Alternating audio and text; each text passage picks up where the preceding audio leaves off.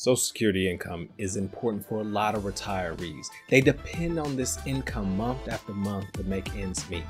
In the past, after you've worked so many years, you receive a statement like this that describes what income you can expect in retirement. Over the past 10 years, they have been encouraging people to access this information online, and they'll no longer be mailing you statements like this. This video, we're going to discuss how to receive that information online, but please wait to the end because we'll talk about the number one thing you should be reviewing year after year as far as your Social Security income.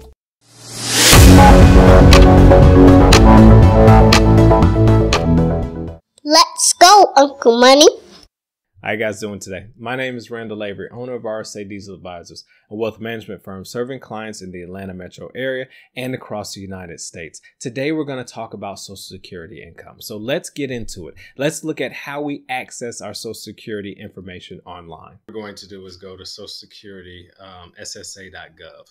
Um, what we're going to do is create an account. So we'll go to create an account, um, create a new account. Here we'll put in our email address, and this email address will actually prompt them to send you a verification email.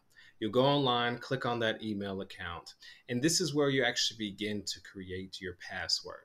Now, these passwords do have to be pretty long and complicated. Make sure you save this information. Okay. Um, after you have your email and your password, go ahead and log in.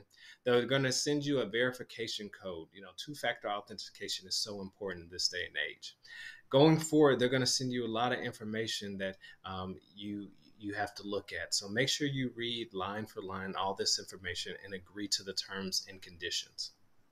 Now they're going to ask you for a lot of your personal information.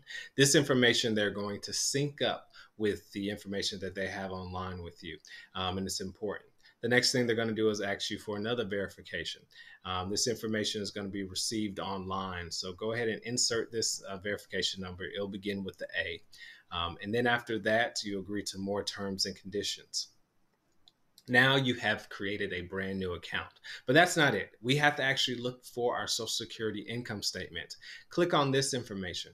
On your Social Security, Social Security income statement, this will describe how much you expect to make if you take your Social Security based off today as the credits that you've earned. Now that you know how to access your Social Security income statement, what should you be looking for?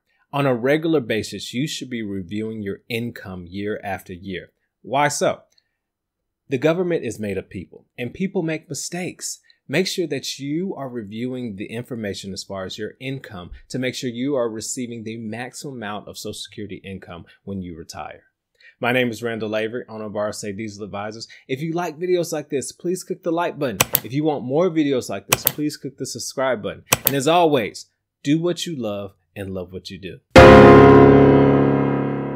I appreciate the info, Uncle Money.